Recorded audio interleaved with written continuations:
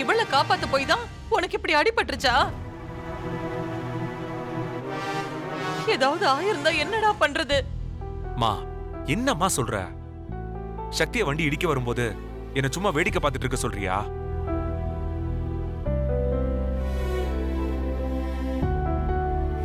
நான் மட்டும் காப்பாத்தலைனா அந்த வண்டி கண்டிப்பா சக்தி மேல மோதி இருக்கும்மா.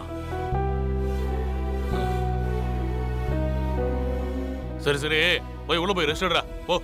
ஆ, சரிப்பா. பாத்து.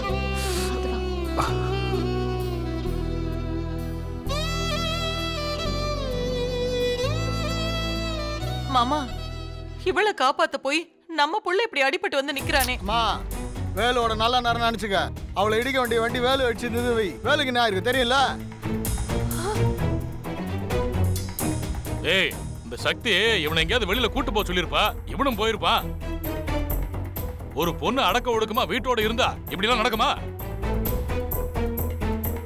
இவ வேலைக்கு போறதுனால தான் இப்படி எல்லாம் நடக்குது? முதல்ல சக்தி வேலைக்கு போறதை நிறுத்தணும். அத முதல்ல செய்யுங்க மாமா.